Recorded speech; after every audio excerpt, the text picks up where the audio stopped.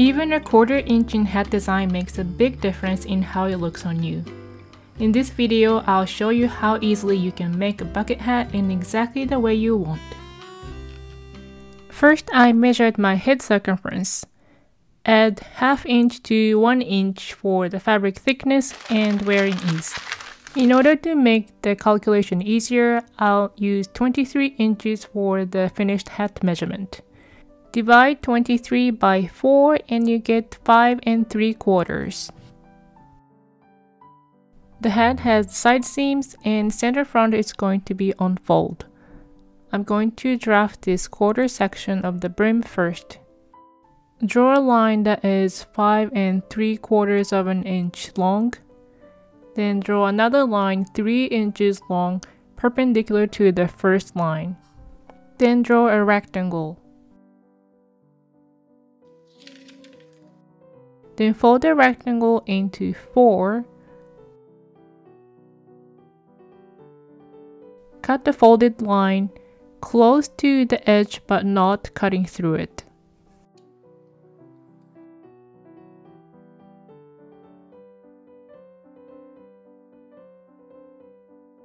First I'm going to do this narrow brim.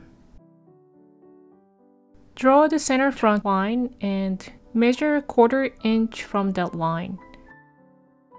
Place the corner of the rectangle at the point and place another corner at the center front line. Add half inch gaps to all the folded lines you just cut and at the end of the rectangle add quarter inch to match the center front.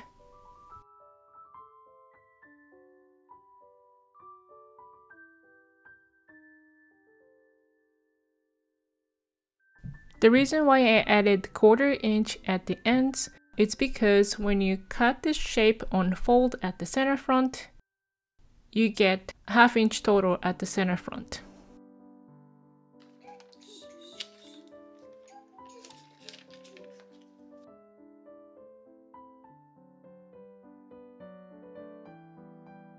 So that was how I drafted this narrow brim.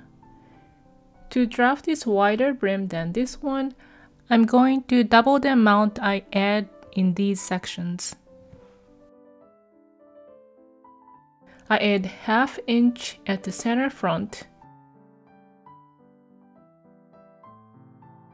1 inch each between these cut pieces, and half inch at the end.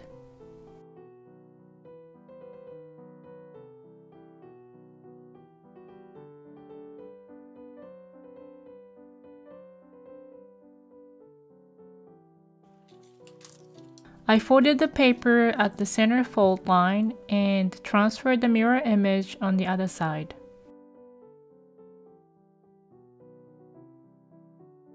I'm going to cut two pieces from this pattern for the front brim and the back brim. I made the paper mock-ups of the brims so that I could see how they look. I transferred the pattern to the new paper and added half inch to the inside curve of the brim. Cut some slits so that I could wear them on my head. This is the one with half inch gaps and I think it looks pretty good.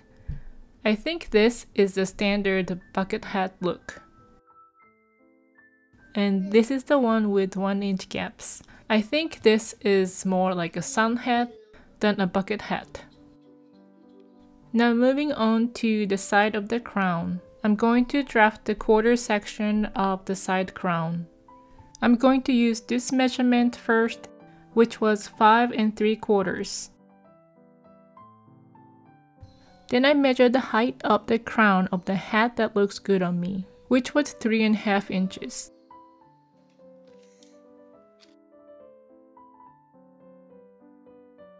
Then make a rectangle like before and fold it into four like before so that we can manipulate the shape.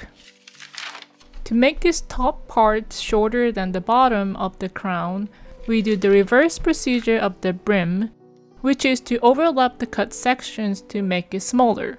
Start by placing the bottom corner of the rectangle at the center front line.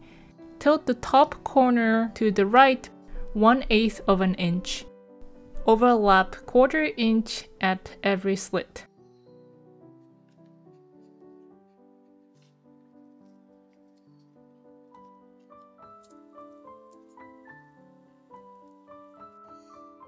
and come in 1 8 of an inch at the end. Again, this is half of what I overlap on every slit. So when you connect all the pieces, the shaping is distributed evenly across the entire circumference of the crown. Measure along the top edge of the crown.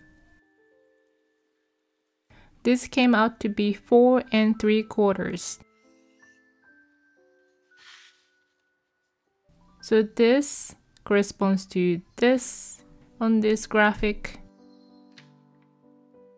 So we are going to multiply 4 and 3 quarters by 4 to get the circumference of the top of the crown, which came out to be 19 inches.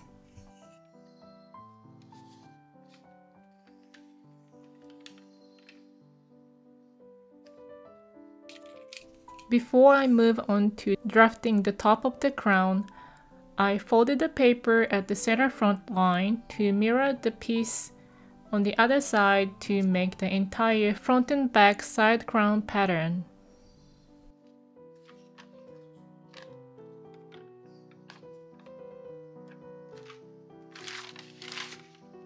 Here I'm measuring 3 inches with my compass to get a circle with 19 inch circumference. The calculation is that the circumference you want to get divided by 3.14 then divide that diameter by 2. That's how I got my 3 inches. Then I make a circle and I went ahead and added half inch seam allowance. I figured it's easier to do it now with my compass. Here are all the pattern pieces I made The pattern for the top of the crown, which I gave half inch seam allowance to, and the pattern for the side of the crown, the pattern for the brim. I made a mock-up of the entire hat with cotton muslin. I had to hold up my brim because it was only one layer. I really like the hat shape, but for this particular project, I wanted a little bit wider brim so I went ahead and repeated the process with 5 eighths of an inch gaps between slits. And this is a mock-up. This was more in line with what I wanted to make. I was 10% unsure because of the floppy brim of the mock-up, but I decided to use this pattern for the brim.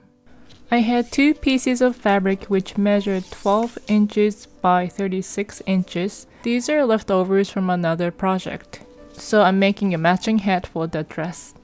This linen fabric is pretty wiggly, so I carefully placed the edge of the fabric along with one of the lines on my cutting mat. Then I placed the center front line of the pattern in the middle of one of the white stripes of the fabric. Then I carefully placed two top corners at the bottom of the gray border. Then I cut out with half inch seam allowance.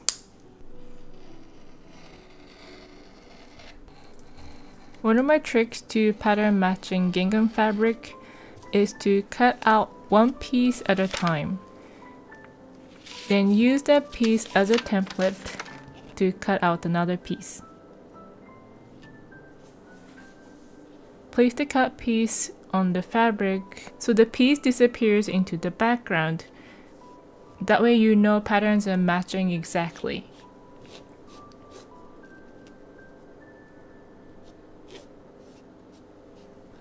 Then cut out another piece using the piece you just cut out as a pattern. I cut out lining pieces from the bottom of cotton curtain I chopped off. Then I put interfacing to all the pieces. I usually interface one big piece then cut out hat pieces, but I only had small pieces of interfacing left, so I had to cut out one by one. My mystery interfacing from my stash was melting at the temperature I was using, And also I couldn't find my usual pressing cloth, so I used parchment paper for the first time. And I thought it worked, but the interfacing started coming off later, so I would not recommend using parchment paper as a pressing cloth. Here are all the pieces I cut out.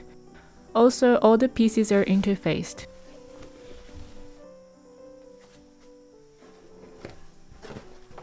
I didn't have big piece of interfacing so I had to use my interfacing like a puzzle. Some places in the seam allowance are missing interfacing. It's okay if the seam allowance is not completely covered. Also I patched this corner and there are also some places I burned with my iron but it looked okay on the right side so I decided to keep this piece.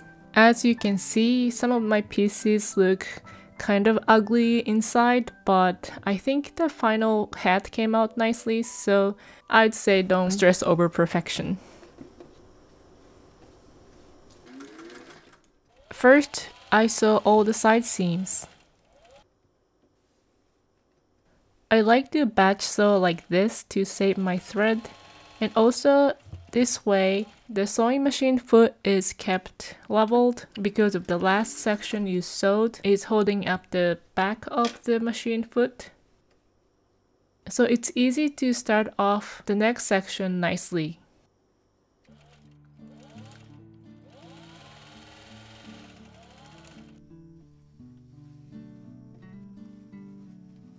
Open the seam allowances and stitch them down from the right side of the fabric.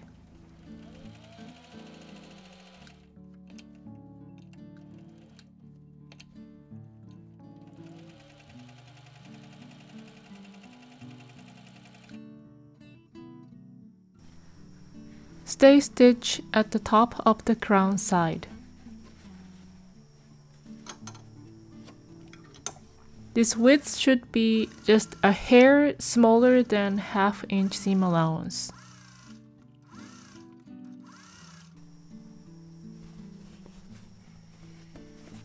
I forgot to mark the center front and the center back, but you can do this at this point like this. To attach the crown top to the crown side, pin in four places, center front, center back, and two sides. Then only on the seam allowance of the top of the crown side. Clip every half inch or so, very close to the stitching line but not cutting through the stitching line. About 1 8 of an inch away from the stitch is a good ballpark.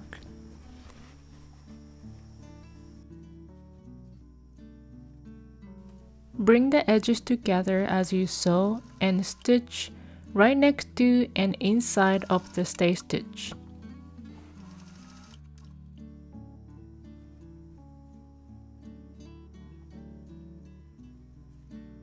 Lay the seam allowances toward the side of the crown and stitch down all the seam allowances from the right side of the hat.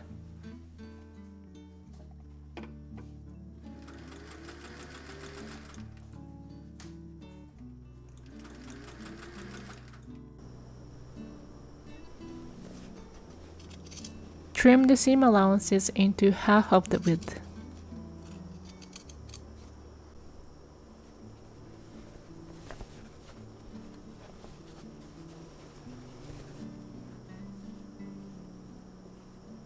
And do the same thing to the lining pieces.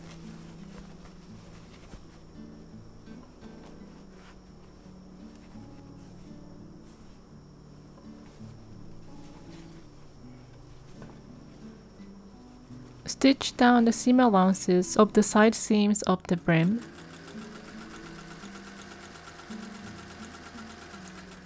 Place one on top of the other and sew outside of the brim with half inch seam allowance.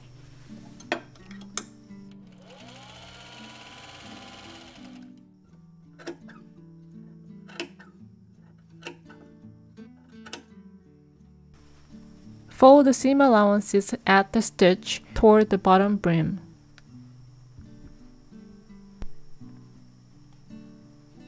Doing this before flipping right side out actually speed up the process. When you flip the pieces inside out, the seam is already at the edge.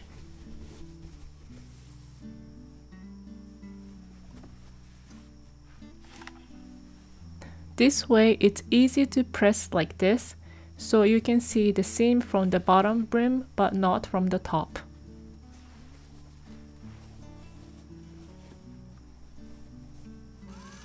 I decided to do the stay stitching and clipping of the seam allowances here too.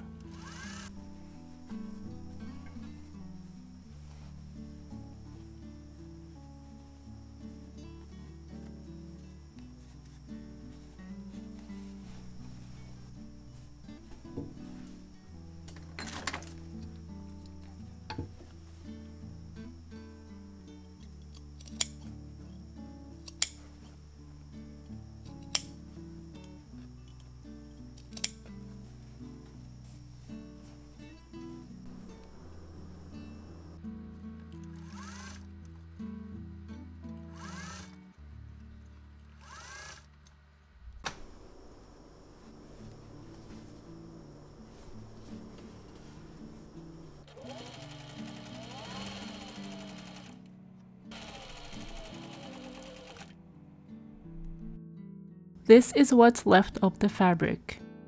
I cut out the longest pieces possible for the side straps. At a sharp corner, take one stitch diagonally and cut off the excess seam allowance.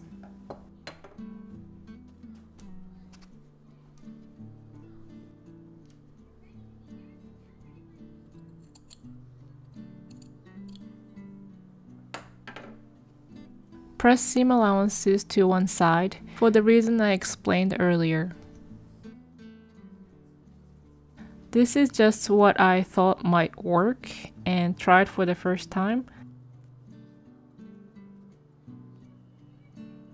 Using a short piece of button thread, I took one stitch from the inside really close to the corner.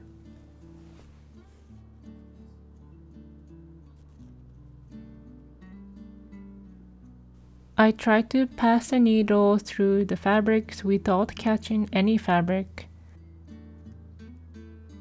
and came out on one side.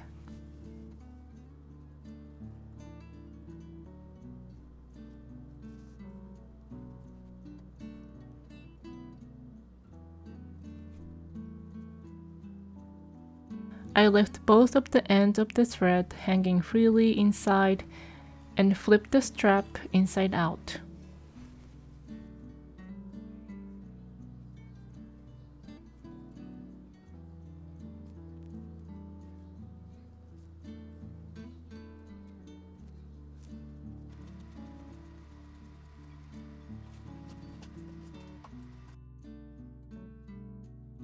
From outside, I pulled out the end of the thread grabbed both of them and pulled to bring out the corner. I would try not to pull too tight here so that you don't pull out the corner out of shape.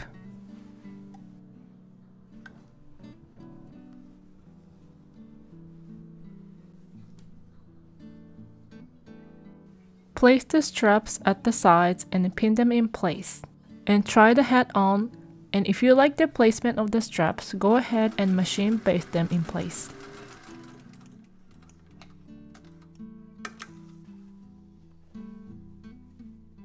For the sizing ribbon, I use grosgrain or Petersham ribbons. Make it to the size of the finished hat measurement. In my case, it is 23 inches.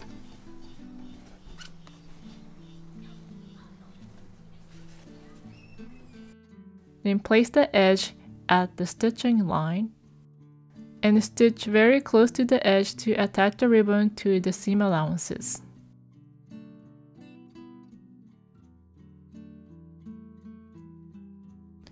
You can leave the seam allowances inside like this or you can serge your zigzag to make it neat.